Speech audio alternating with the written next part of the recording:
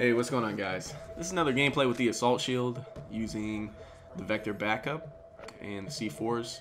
I get 10k score, 18 flag caps playing on the map Meltdown. It's a really good gameplay. Hope you guys do enjoy this. But today what we're talking about is does the VSAT belong in Call of Duty? VSAT slash Blackbird from Black Ops 1. Now the reason I'm talking about this, I actually had planned to do this video yesterday before um, two guys had put their videos out. I But the reason I found out other people had talked about this recently was I logged on to my little YouTube app, dialed in there, and I subscribed to a couple guys. Uh, specifically, I watched a video from 402 Thunder, Mr. Thunderstruck, Uncle Thunder, more like Brother Thunder to me because, hell, I'm getting up there, man. I'm 29 years old. I'll be 30 at the end of this year in August.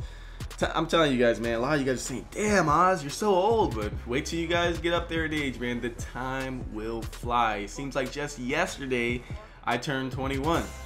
And I'm pretty sure it's just to feel like yesterday, 10 years from now when I'm 40 that I turned 30. So that's how time is, man. So believe me, all you guys saying, damn, Oz, you're old.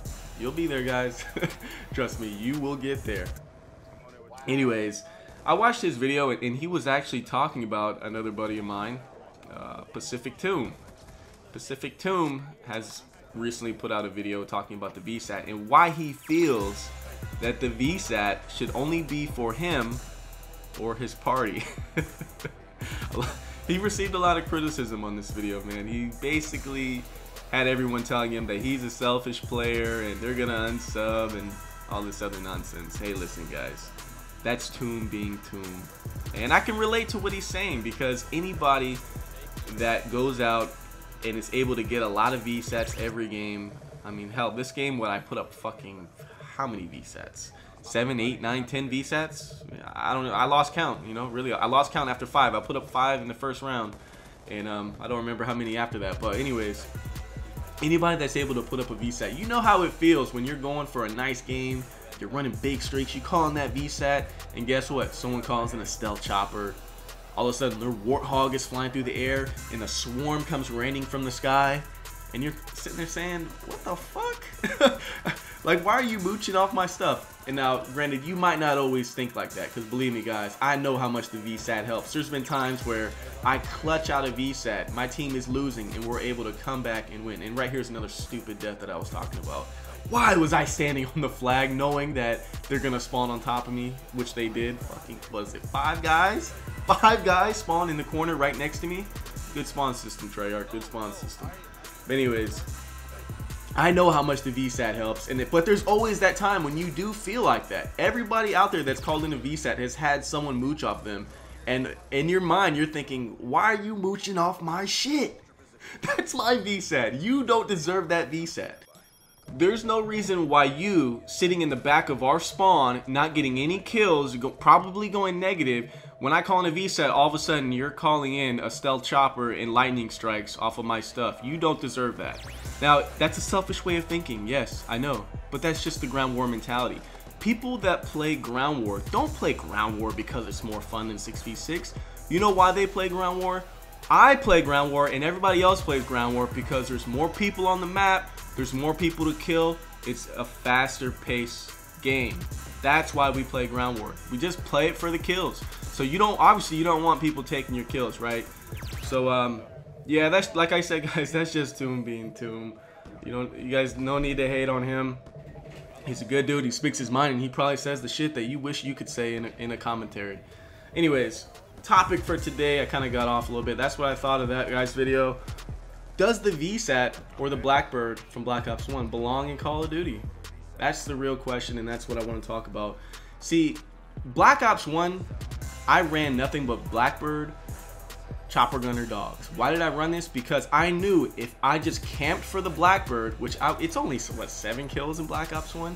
If I camped for the Blackbird, I could see everyone on the map. I was guaranteed dogs, and I was guaranteed a chopper gunner. And that was going to guarantee me an extra 20 to 30 kills every single game off of one Blackbird.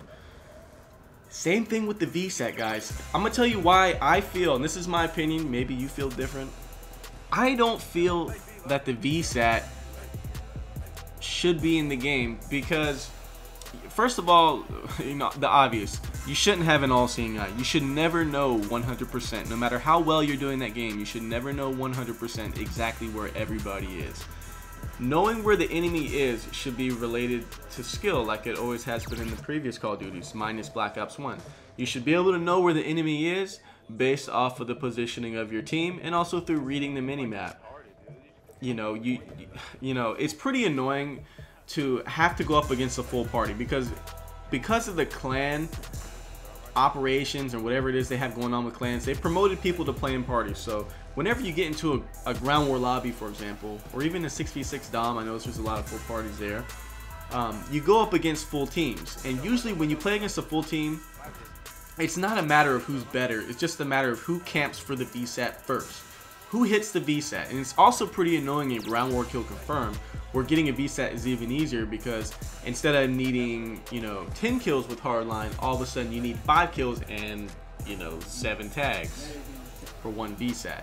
And that is insane. 5 kills for a VSAT and kill confirmed. And then you can see everything. And one VSAT pretty much will win the game for you.